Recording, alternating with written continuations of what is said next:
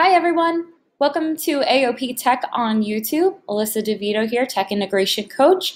Today we're going to be taking a quick look on how you can use Google Slides to create posters for your classroom, either for you as your as the teacher or having students create custom posters. And it's really easy to do and a unique way to utilize Google Slides and some of the uh, image editing capabilities that falls into it. So I'm going to exit out real quick here, and I'm already in Google Slides.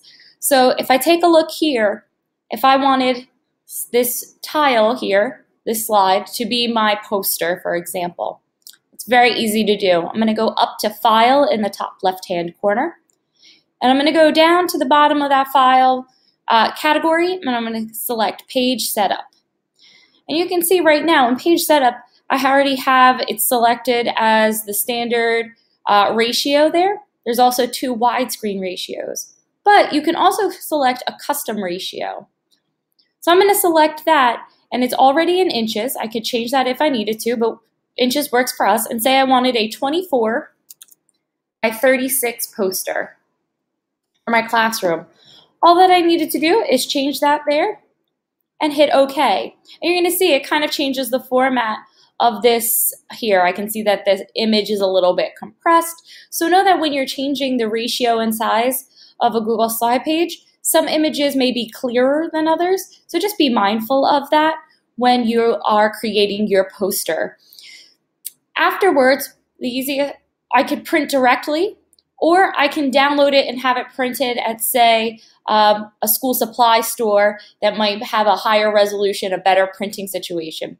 So if I go back to my File menu in the top left-hand corner, I'm going to select File again.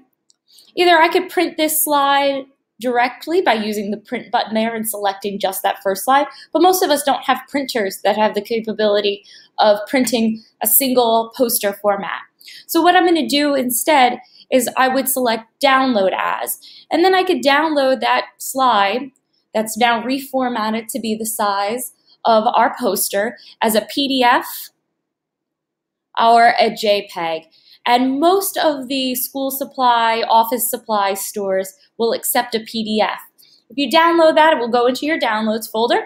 Later on, you can go to their website, something like a Staples or an Office Max, um, and upload it there and have a custom poster that's printed just for you and your classroom, and it's beautiful. So just be mindful of the kind of images that you're using and making sure that you're respectful of copyright, uh, whether you yourself are creating these or you're having students create them.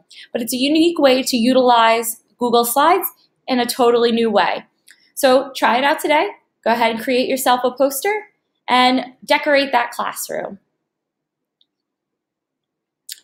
Know that you can always follow us here at AOP Tech on Twitter, on Facebook, on Instagram. You can follow and subscribe to our YouTube page, and feel free to contact me as well uh, via email or on Twitter uh, for, with any questions that you have. We hope you have a great day.